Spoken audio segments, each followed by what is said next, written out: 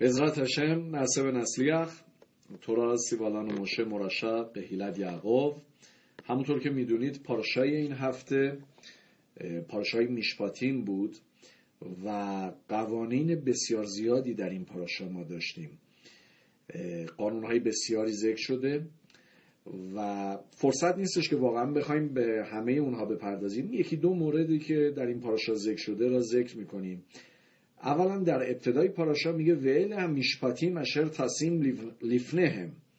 خداوند به مشربنو میفرماید که اینها هستند. آن میشپاتیم آن قوانینی که قرار بده جلوی آنها. اولین سوالی که اینجا مطرح میشه اینه که چرا تورا چرا خدا اینجوری دستور میده؟ قرار بده جلوی آنها. ظاهرا باید می‌گفت اینها هستند. آن قوانینی که به آنها یاد بده به آنها آموزش بده. به آنها فتوا بده. اینکه قرار بده جلوی آنها این یه مقداری سوال برانگیزه که منظور چیه که قرار بده جلوی آنها.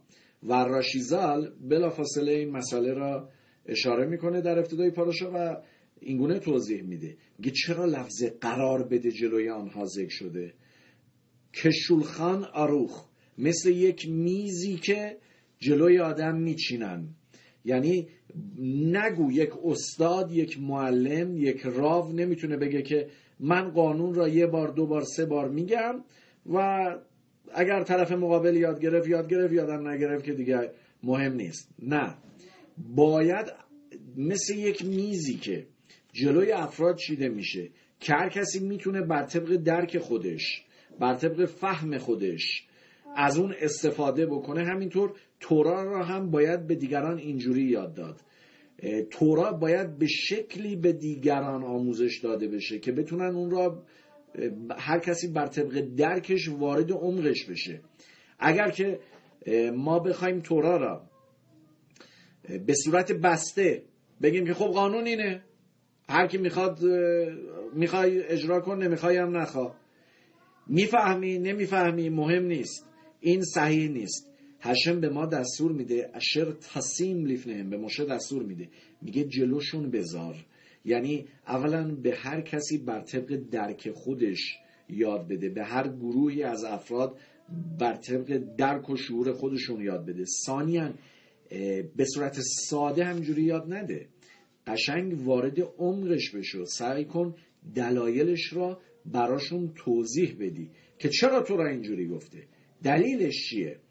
به زبان روز مسائل را توضیح بده. این خیلی مهمه که تلمید خخامین و ربانین باید دقت بکنن که داراش هاشون و تورایی که یاد میدن به زبان روز باشه امروزی باشه. تورا رو به اشکال مختلف میشه توضیح داد. هر چیزی که در میدراش اومده و یا در کتب مختلف اومده واقعا لازم نیستش که آدم همه اونها رو بخواد امروز بگه. باید دید که به چه شکل بر طبق درک و فهم امروزی ها میشه توضیح داد این را.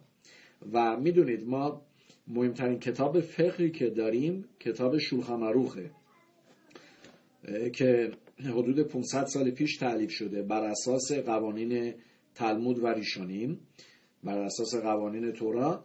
و شولخان یعنی میز گسترده میز گسترانیده شده میز پهن شده سفره پهن شده خانه گسترده. یعنی چی؟ این اسم بر اساس همین پاسوقه که میگه اشر تصیم لیفنیم که جلوشون بذار. یعنی حتی قوانین فقهی را واقعا باید خوب بازش کرد توضیحش داد شکافتش برای مردم که هر کسی بر طبق خخمای خودش بر طبق عقل خودش به اون پی ببره. یکی از قانونهایی که در پاراشای این هفته ذکر شده بحث اینه که اگر کسی دزدی بکنه تورا دستور میده که باید دو برابر بپردازه. دو برابر یعنی خود دزدی رو باید بپردازه و عین اون هم به عنوان جریمه قناس باید بپردازه. و و این این بدیم کرد بیگنواتو. تورا میگه که اگر نداره که بپردازه به خاطر دوزیش فروخته میشه به عنوان اوید ما البته دو نوع اوید داشتیم. یکی اوید ایوری یکی اوید کنانی یکی اوید اسرائیل و یکی اوید غیر اسرائیل. در مورد قانون اودیوری اودیوری یه حالتش کسیه که غلام عبری کسیه که رفته دزدی کرده و نداره که بپردازه و تورا میگه که این فروخته بشه و 6 سال برای اربابش کار بکنه و بعد از, بعد از 6 سال آزاد میشه. و خیلی سوال می‌پرسن میگن چرا تورا اومده همچین قانونی گذاشته؟ چرا؟ مثلا مثل امروزه حکم نداده. فرض کنید یکی دزدی می‌کنه امروزه می‌گیرن میندازنش زندان. یه سال دو سال بر, بر طبق چیزی که چقدر جرمش سخت باشه چی دزدیده چقدر دزدیده. و به اصطلاح امروزی میگن که مشلم خوول خبرا یعنی اون بدهیش را به جامعه می‌پردازه. چند سال زندانه و بعدم از زندان خارج میشه. در واقع متنبه میشه تنبیه میشه. چرا تو را اومده قوانین بردهداری را رواج داده دستور داده؟ که بیایید یه فردیه که دزدی کرده به عنوان برده بفروشید به عنوان عوض بفروشید. علتش چیه؟ عمق این مسئله چیه؟ وقتی که ما میایم مقایسه می‌کنیم قانونی یا که تورا داده و قانونی که امروزه در جوامع متمدن ما مرسومه به یه نکات جالبی بر, بر می‌خوریم اولا اینکه ببینید امروزه وقتی که یکی دزدی کرده و این را میندازن زندان و چند سال زندان میمونه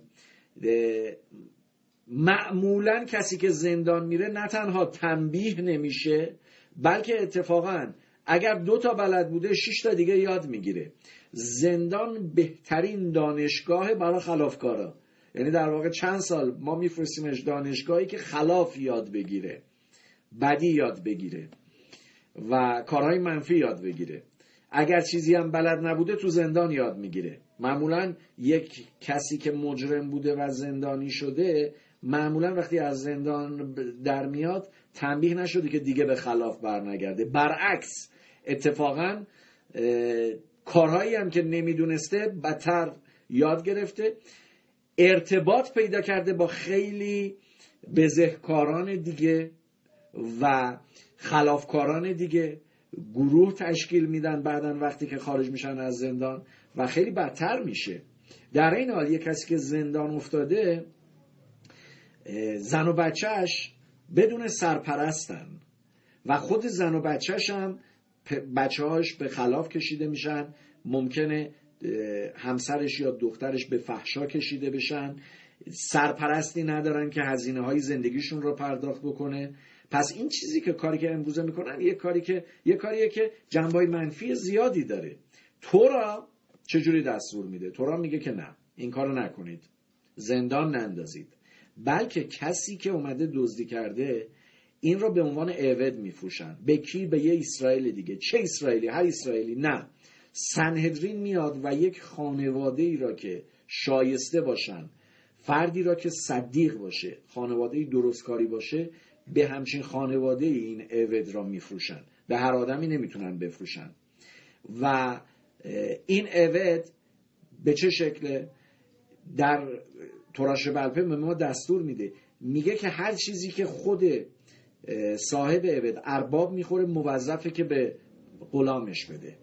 اگر که حتی اگر که فرض کنید که یک فقط یک تخت داره یک تشک داره حق نداره خودش روش بخوابه باید بده به عودش یعنی باید بالاترین احترام را و بالاترین حالت زندگی را مثل خودش برای اون عوده تأمین کنه. یعنی حالت بردهداری به اون شکل که بخواد این عود را اذیت بکنه نیست. در طی این شش سال داره کار می‌کنه و در این حال اون ارباب موظفه که به فرزندان و همسر این عوض هم رسیدگی بکنه. یعنی هزینه زندگی اونها رو هم بده. این عوض با همسرش و با فرزندانش میره پیش اون خانواده. شش سال به جای اینکه ما بفرستیمش این را توی یه گلخونه ای که انواع بزه و انواع جرم و جنایت رو یاد بگیره ما اینو میفرستیم برعکس. در یه محلی که پیش یه فرد صدیقی که کار کردن و یه حرفه ای را یاد بگیره و ترس از خدا و اعمال درست را یاد بگیره. به جای اینکه خانوادش را بدون سرپرست بکنیم و زن و بچهش همینجوری رها شده باشن اتفاقا زن و بچهش هم وارد اون خانواده میشن. به جای اینکه توی زندان بخواد اینا زجر بکشه و تو سرش بزنن وارد یه خانواده میشه که نهایت احترام رو بهش می‌ذارن و بهترین امکانات مثل خودشون براش فراهم می‌کنن. و در نتیجه این آدم و تازه بعد از اینم که آزاد میشه تورا میگه هنق تعنیق لو اون سا... کسی که اربابی که این شخص رو خریده موظف بیاد یه چیزی بده به اسم هنقا یعنی یه سرمایه اولیه‌ای بده. به این عوض که بتونه بره الان کارش رو شروع بکنه. اینم میسوای توراست میسوات از سه تا فرمان توراست که یه همچین سرمایه اولیه به اون عوض داده بشه. و این واقعا از اون معگل پشیا یعنی اون سایکل و مدار بزه و جرم و جنایت خارج میشه. واقعا متنبه هم شده در این حال آموزش هم دیده و تربیت شده. تورا اینجوری به ما دستور میده. عمق این فرمان تورا به این شکله. اما یک فرمان دیگه در این پاراشا ذکر شده که یه مقداری جمله بندیش عجیب غریبه. تورا وقتی فرمان صداقا را می‌خواد بده میگه که این کسف تلوه امی هنگامی که پول قرض میدی به قوم من اتهانی ایماخ فقیر را با خودت من مثل خودش ترجمه می‌کنم همین عجیبه. تو فارسی عجیبه یعنی چی؟ تو عبری هم عجیبه. اتعانی ما فقیر را با خودت. یعنی وقتی که تو به یه فقیری کمک می‌کنی پول قرض میدی. لو تیهیه لو کنوشه. به مثل طلبکار براش نباش. لو تسیمون علاو نشخ. ازش نزول نگیر. خب می‌دونید که ما صداقا قانون صداقا رو که داریم صداقا فقط این نیستش که آدم بلا عوض یه چیزی رو یه پولی رو بده به یه فقیری. اتفاقا صداقای بالاتر اینه که وقتی که یه کسی رو می‌بینیم که نیاز داره ما بهش قرض بدیم و اون نیازش رو تعمین بکنیم. خود قرض دادن هم این هم صداقاست. و فقط عجیبه این لفظ تورا که تورا میگه که هنگامی که پول قرض میدی به قوم من یعنی چی به قوم من؟ بعد در ادامه میگه اتعانی ما فقیر با خودت. یعنی چی فقیر با خودت؟ معنیش چی میشه؟ این را باید توضیح بدیم. راشی زال بر طبق میدراش فوق العاده زیبا این را شرح میده. میگه در واقع این پاسوق می‌خواد به ما اولویت بندی یا صدر هادیفویوت یعنی ترتیب اولویت ها رو به ما یاد بده. که آدم وقتی که می‌خواد به کسی صداقا بده. حالا چه به شکل بلاعوض و چه به شکل قرض دادن بر شکلی که هستش چه اولویات هایی را باید قرار بده؟ به کی اولویت داره که صداقا بده؟ و کی چه کسانی چه گروههایی در اولویت های بعدی قرار دارن؟ راشی میفرماید که تورا میگه هنگامی که قرض میدی امی به قوم من. چرا تورا میگه به قوم من؟ می‌خواد اینجا به ما بگه که شخص اسرائیل که قوم منه و شخص غیر اسرائیل شخص اسرائیل مقدمه. یعنی ما اعتقاد داریم که کمک کردن به هر انسانی این خسد و احسان و کار صحیحه. آدم به هر انسانی فرقی نداره که اعتقاد و ایمانشیه حتی یک بتپرست آدم کمک بکنه این میسواست و کار درسته و به خصوص اینکه باعث صلح و صفا در دنیا میشه و در این حال نودوستیه اما اولویتی وجود داره. یه کسی که قوم منه یعنی مثلا یه فردی که اسرائیل یا یه فردی که خداپرسته این مقدمه به یه کسی که بتپرسته. یه کسی که اسرائیل مقدمه به یه کسی که به یه شخص غیر اسرائیل. به اونها هم میسواست. ولی این ترتیب و تقدم اومده درجه بندی بکنه. اومده بگه که کسی که مثلا خدا پرسته این تقدم بالاتری داره نسبت به کسی که خداپرست نیست. به خاطر همین میگه امی قوم من. در ادامه میگه که اتهانی به فقیر. نه اینکه به ثروتمند میسوا نباشه. واقعا حتی یه آدمی می‌بینید ثروتمنده ولی در یه موقعی در یه شرایط سختی و احتیاج به کمک داره. برای همه ما پیش اومده. یه موقع می‌بینید وضع مالی خوبی هم داریم. خشم خدا رو شکر. ولی آدم یه موقعی هستش توی شرایط قرار می‌گیره که احتیاج داره حتی به یه مبلغ کمی پول که یکی بهش بیاد و قرض بده دستش رو بگیره. توی شرایط سختیه.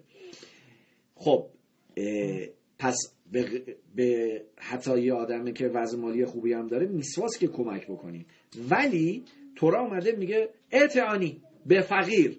چرا؟ به خاطر اینکه ترتیب اولویات بگه. آنی و اشیر آنی قدم اگر دو نفر جلوی ما هستن به یکشون می‌تونیم کمک کنیم. هر دوشون رو نمی‌تونیم. یکشون آنیه نیازمنده. یکشون آشیره یکشون فقیره یکشون ثروتمنده. ثروتمنده اونم گیر پول الان. ولی آنیه مسلما اون نیازش بیشتره. بنابراین تورا میگه اعتعانی به فقیر. اون مقدمه. در ادامه میگه که اعتعانی ایماخ. با تو. با توش یعنی چی؟ ما یه اصلی داریم. انیه خا و انیه ایر اخرت انیه ایرخا و قدمین. اگر که آدم مثلا خانواده خودش نیازمند هست. نیازمندهای دیگه ای هم هستن. کدوم مقدم تره اون نیازمندهای خانواده خودش حق تقدم دارن. اول آدم به فامیل خودش. اگر شهر خودش نیازمند داره آنی داره. شهر دیگه هم نیازمند داره. با مسلما به شهر دیگه هم آدم می‌تونه کمک کنه بکنه. ولی انیه ایرخا اون نیازمندان شهر خود تقدم دارن. اگه کشور خود نیازمندایی داره که احتیاج دارن. یه کشور دیگه هم هستش که نیازمند داره. اون انیه کشورهای اون فقرای کشور خود تقدم دارن. یعنی در واقع تورا میگه اعتانی ایماخ آنی که با توه یعنی می‌خواد به ما یاد بده با تو یعنی یا فامیل توه یا تو شهر تو اینا مقدمن به آنی های دور. و این یه توضیح. این پاسوق به اشکال بسیار جالبی به شکلهای مختلف توضیح دارن یه توضیح. پشاتش معنای سادش این توضیحه که راشی میده. یه توضیح دیگه. یه توضیح دیگه گفته شده که لو تینهگ بوم مینهگ بیزایون. شهو امی. تورا میگه که وقتی که پول میدی به کسی کسر تلوه ات امی. قوم من.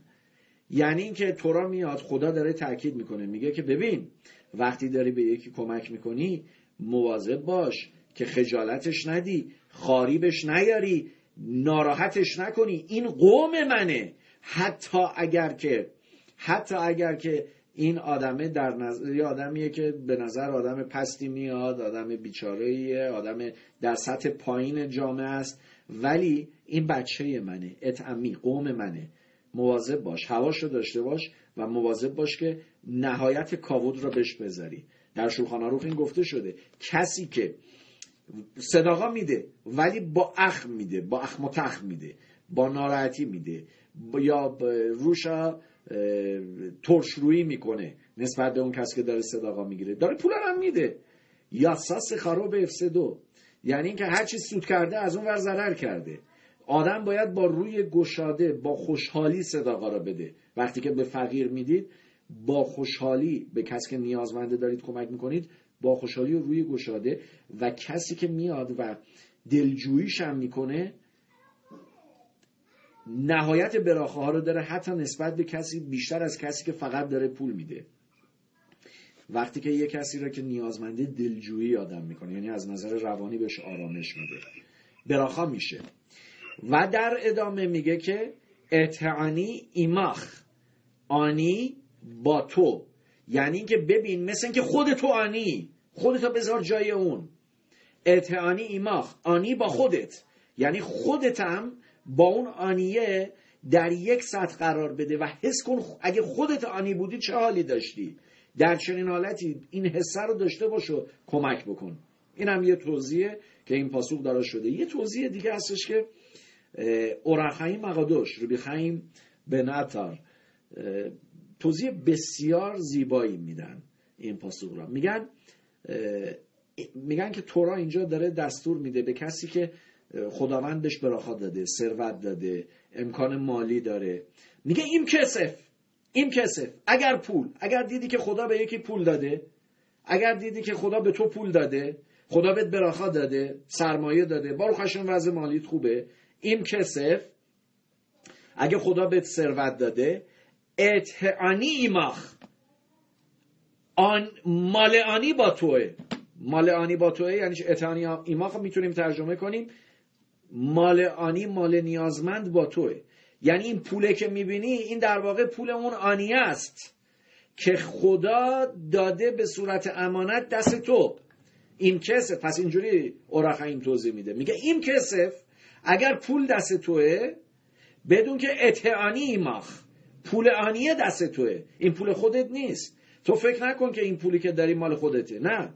تو این معصر ده یکی که جدا می‌کنی این مال آنیه است. تو فقط اینجا یه شالیخی. تو اینجا فقط یه فرستاده ای که خدا از طریق از طریق اون کانال تو می‌خواد این پوله به دست اون آنیه برسه.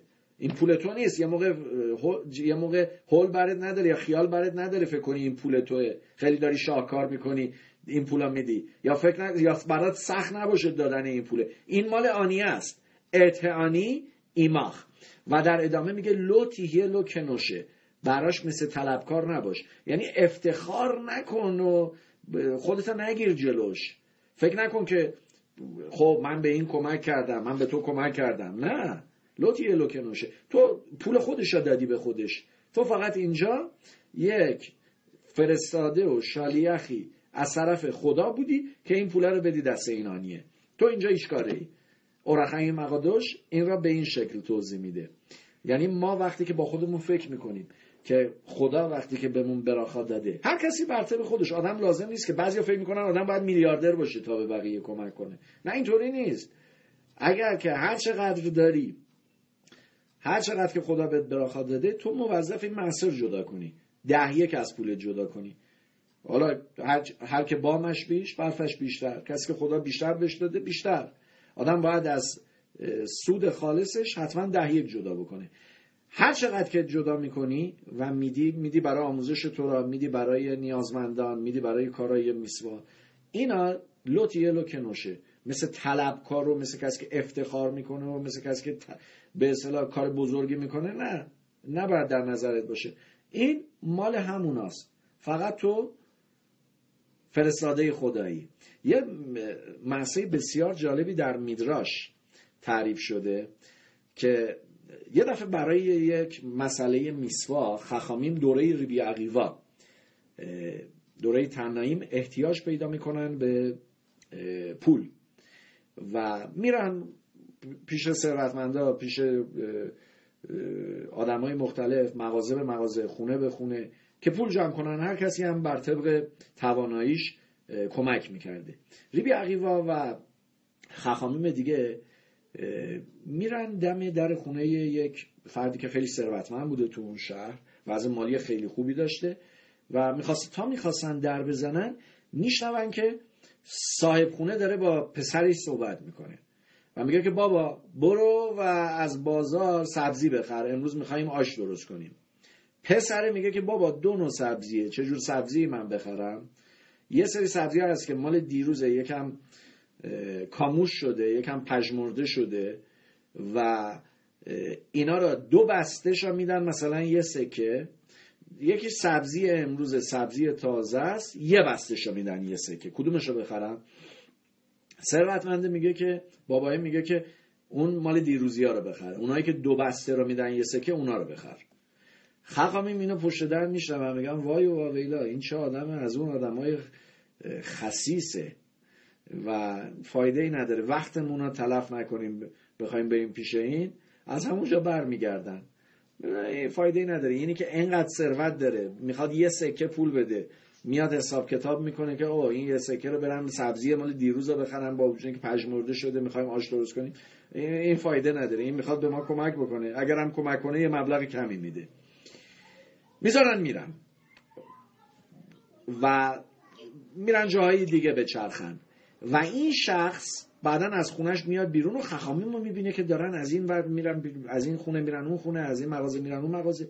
میاد جلو میگه که ربوتای چیکار دارید می‌کنید؟ مشغول چی هستید؟ میگن چی چی چه زنی اوکی. نه بگید چیکار دارید می‌کنید؟ میگن راستش ما اومدیم اینجا یه کار میسواییه حالا هر چی بوده. ما داریم پول جمع می‌کنیم. میگه خب چرا نیومدید خونه من؟ چرا منزل من نیومدید؟ اینا منمن می‌کنن. نشده میایم. میگه نه چرا نیومدید؟ حقیقتشو بگید. ولتون نمی‌کنم تا حقیقتشو بگید. آره بابا ما اومدیم در خونت ولی همچین چیزی شنیدیم. گفتیم یه آدمی که انقدر مقتصده که میاد یه همچین حساب کتابایی می‌کنه این فایده نداره. میگه که نه. شما اشتباه بزرگی کردید. که به من سوء زن بردید اون مسئله آدم باید حساب پولش رو داشته باشه. من اومدم گفتم با خودم که خب ما که می‌خوایم آش درست کنیم. این سبزی یکم پژمرده شده باشه یا نشده باشه فرقی نداره تو آش. اونی که ارزون تره رو آدم بخره. فرقی نداره. ولی برای صداقا مسلمه که من کمک می‌کنم. الان من باید برم جایی ولی برید در خونه من بگید فلانی بگید شوهرت به زنم بگید. شوهرت به فلان نشون گفته که یک ظرف ظرفشون مثلا مشخص بوده. فلان ظرف پر از سکه های طلا بکن و بده به خخامین برای میسوا. اینا چشاشون باز میشه از صدقه در میاد. چی؟ تعجب می‌کنن. آره برید. من باید برم یه کاری دارم business ولی برید از زنم بگیرید. میرن دم در در می‌زنن. خانمش دعوتشون می‌کنه داخل خونه. میگن آره شوهر شما به فلان نشون فلان گفته که فلان ظرف پر از سکه طلا بکن و به ما بده. زنی میگه که چشم حتما فقط بگید ببینم. اینا دو جور میشه پرش کرد. یکی اینکه این لب به لب باشه سکایی که من تو این ظرف میریزم می‌تونه اینجوری روی ظرف جمع بشه بیاد بالا گادوش باشه. کدومش رو گفت به شما؟ گفت ماخو یا گادوش لب به لب یا اینکه حالتی که روش جمع بشه. میگن به صورت ستان به ما گفته. نگفت دیگه. اونجوری یا اینجوری همجوری کلی به ما گفت. زنه میگه که ببینیم. من اینا برای شما ظرف تا نهایتش پر می‌کنم. اگر شوهرم اومد گفتش که من لب به لب گفته بودم. اگه گفته بود که پر گفته بودم که هیچی. باروخ هشم درست دادم. اگه گفت لب به لبم گفته بودم عیبی نداره. بهش میگم که از کتوبای من کم کن. این مبلغی که من اضافه دادم از کتوبای من کم کن. و وقتی که شوهرش میاد شوهره میگه که خب خانم چجوری دادی اینا رو دادی میگه آره. چجوری دادی این سکه رو؟ میگه که پر کردم. میگه که و اینجوری بهشون گفتم. گفتم اگر که شوهرم اومد گفت من منظورم چیز دیگه بوده میگم از کتوبام کم کن. شوهر میاد میگه که اتفاقا حالا که این کار کردی من مبلغ بیا یه کتوبای جدید می‌خوام برات بنویسم. مبلغ کتوبات رو دو برابر می‌کنم. تو زن اشت خیلی. تو زن درستی هستی بیاد کتوباشو دو برابر می‌کنه. این یه مسئله که در میدرش استر تعریف شده و خیلی جالبه. یعنی واقعا به آدم نشون میده که آدم تو زندگیش باید مواظب باشه بی خودی بریز و به پاش نکنه. بعضیا فکر می‌کنن که هدر دادن پول این کار درستیه. نه. آدم خوب زندگی کنه بر طبق براخایی که خدا بهش داده. ولی اصراف نکنه بریز و به پاش علکی نکنه. خصیص نباشه به هیچ عنوان. ولی حساب پول رو هم داشته باشه. اما برای کار میسوا برای صداقا برای آموزش تورا برای یاد دادن تورا به بچه برای یاد دادن تورا به دیگران هر موضوع میسوایی. در مورد اون مسائل مقتصد نباشه. در مورد اون مسائل بدونه که هر چقدر که بیشتر بده هر چقدر بیشتر کمک کنه حق دشمن خودم بیشتر بهش کمک می‌کنه. در واقع پول خود ما داره میده. پول این نیست. پول, پول من نیست وقتی من یه صدقه میدم. من فقط یه نماینده ایم از طرف قودشا بریخو که این کار رو بکنم. یک فرمان دیگه هم در این پاراشا ذکر شده. تورا میفرماید که کل المانا و یاتوم لو تعنون. یعنی هیچ یت... المانا بیوه و یتیمی را رنج ندید. مواظب باشید که بیوه و یتیم را رنج ندید. و رمبام توضیح میده. میگه نه فقط بیوه و یتیم هر آدمی که ضعیفه هر آدمی که ضعیفه این فرمان وجود داره که یا آدمایی که تحت فشار روحی هن مشکلات زندگی هن ناراحتی هن خیلی طورا اومده تاکید کرده مواظب باش که اینا رو اذیت نکنی. و یاتم یتیم و بیوه مثاله. چون معمولا شخصی که بیوه است زنی که بیوه است بچههایی که یتیمن اینا آدمای ضعیفی هن که کسی نیست که پشتشون دران و از نظر روحی هم شکننده ترن نسبت به آدمای دیگه. و تورا اومده تاکید بکنه. میگه خیلی مواظب باشید. خیلی ما خیلی تاکید شده برامون که مواظب باشیم که برای در مقابل این افراد المانا یا توم یا آدمایی مثل اونها لیپنین میشورتدین رفتار بکنیم با ارفاق رفتار کنیم. حتی یه معلمی که درس میده که تو بعضی حالت ها می‌تونه مثلا شاگرداش را تنبیه بکنه. اگر می‌بینه اون بچه یتیمه باید احتیاط بیشتری بکنه. باید مواظب باشه. حتی جایی که یک شخصی مثلا مجازه که تشر بره به طرف مقابل اگه می‌بینه اون طرف مقابل یا یتیمه یا یه زن بیوه یا یه شخص ضعیفیه باید خیلی مواظب باشه که با دقت بیشتر و با درایت بیشتر رفتار بکنه. یه مسئله خیلی جالبی در مورد آراف خافز خیم تعریف می‌کنن. می‌دونه آراف خافز خیم یه یشیوایی داشتن در شهر رادین و یکی از تلمیدینشون ازدواج می‌کنه و قدیم حالا عروسی ها حتما اینجوری نبوده که یه سالن بگیرن 500 نفر رو دعوت کنن اینجوری نبوده. تو خونه تو حیات خونه فامیلا رو دعوت می‌کردن جمع می‌شدن خوپا سعودا و شالوم اسرائیل. و هاراف یه شهر دیگه بوده. هاراف حافظ خیم با چند تا از دوستای این خاتان. میرن اون شهر و خب مراسم خوپا رو آراف انجام میدن و سر سعودا وقت وقت سعودا میشه هاراف میرن تلمیدی می‌بینن که هاراف حافظ خیم رفتن تو آشپزخونه. با خودشون میگن که خب هاراف رفتن آشپزخونه چک کنن ببینن همه چی اوکیه کشروتش چجوریه اینجا کی ناظر بوده مشکیخ داشته نداشته مسائل کشروت خوب رایت شده یا نه. و بعد زمان نتیلا که می‌رسه ظرف نتیلا رو که می‌گیرن اون موقع لوله کشی خیلی جا نبوده لوله کشی ها. اوایل قرن بیستمه تازه این مسائل داشته میومده و ظرف نتیلا رو که میگن یه, یه ظرف بزرگی بوده یه تشت بزرگی بوده که از اون آب بر می داشتن هاراو برخلاف عادتشون که همیشه ظرف نتیلا رو پر از آب می‌کردن چون میسواست. درسته که به اندازه 81 سی سی آب با آب میشه نتیلا گرفت ولی در گمارا اومده که هر کسی که با آب بیشتری نتیلا می‌گیره این میسوای بیشتری و هشم هم بهش براخا میده.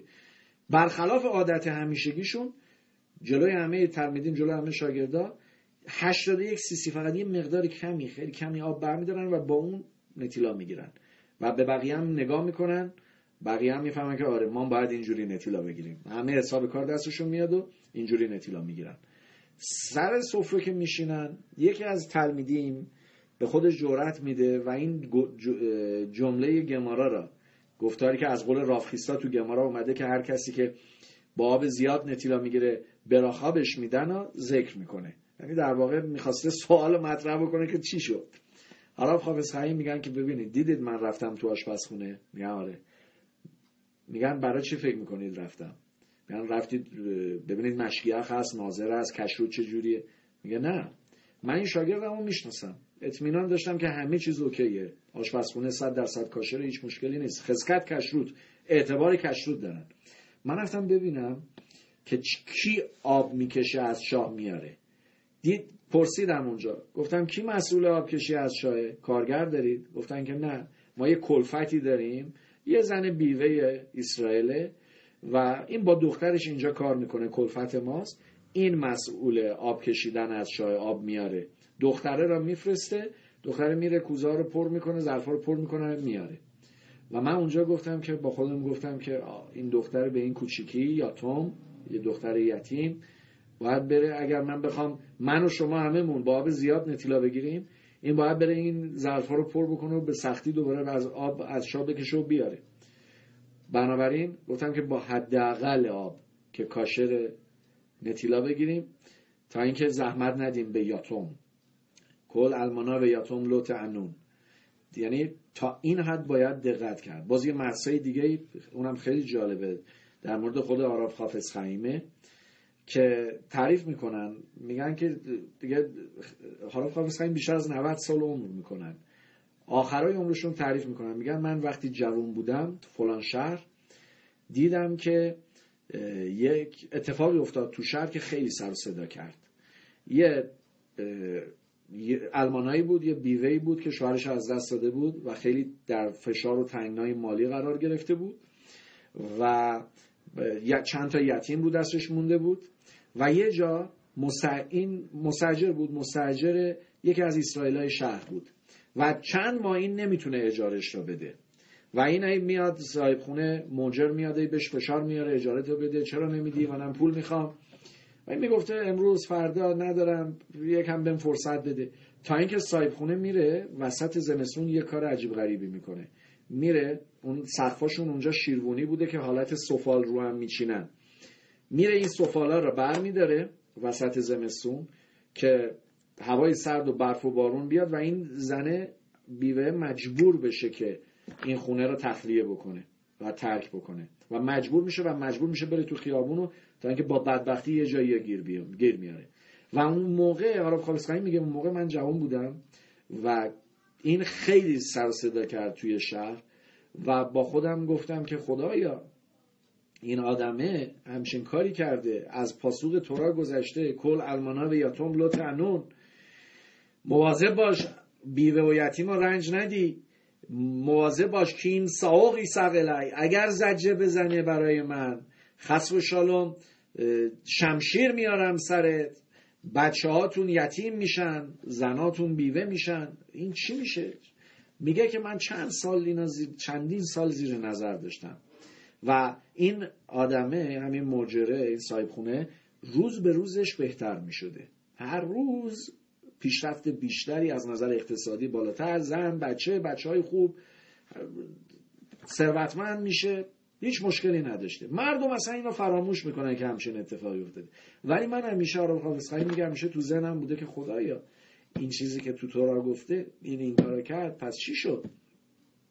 میگه که حالا حافظ خیلی تعریف می‌کنن میگن که بعد سالیان سال ده ها سال یه, یه روز شنیده میشه که یکی از اسرائیلا را یه سگ هاری اومده گاز گرفته و این هاری را انتقال میده به این شخص و هاری بیماری بی نهایت سختیه و برمینان این بعد چند روز همه علائم هاری را می‌گیره و به شکل خیلی فجی از دنیا میره از بین میره که اون موقع آراف خالص میاد و این موضوع یادآوری می‌کنه. میگه این یادتونه ده ها سال پیش این آدمه چی کار کرد؟ اون موقع این یتیمه رو و بیوه رو اون بیوه زن رو و اون یتیما رو اینجوری کرد اینجوری تحت فشار گذاشت. الان ببینید این همون چیزیه که تورا میگه. سالیان سال حقودش پرخو ارخپاییمه خدا دیر خشمه. اگر ما بعض وقتا ما میایم میگیم که او چجوریه؟ می‌بینیم یکی ظلم کرده یکی مال مردم رو می‌خوره یکی میاد یتیم و بیوه زن اذیت می‌کنه. روز به روزش هم بهتره. اینجوری حساب نکنیم. خداوند ارخپاییمه دیر خشمه. هیچ چیزی ولی فراموش نمیشه. هر چیزی حساب کتاب خودشو داره. و آدم نه خوبی گم میشه نه بدی. کسی هم که خوبی می‌کنه اگر می‌بینه که تو سختیه تو مشکلات تو نیسایان نگران نباشه. همه این مشکلات همه این آزمایش ها همه این سختی ها بالاخره یه روزی تموم میشه. کسی که خوبی می‌کنه امید داشته باشه به آینده و از چیزی نترسه. توکلش بر باشه. داره دستوری انجام میده که حقادش بارو خوب گفته. و انشالله که برای همه ما براخا برکت حسلاخا و موفقیت و سلامتی باشه. روز به روز انشالله بیشتر و بالاتر بریم در همه زمینه ها چه معنویات و چه مادیات. آمین. کنیه ایراسون و نشمه و نتبسر به سرود تو یشود و نخامات شبوع تو و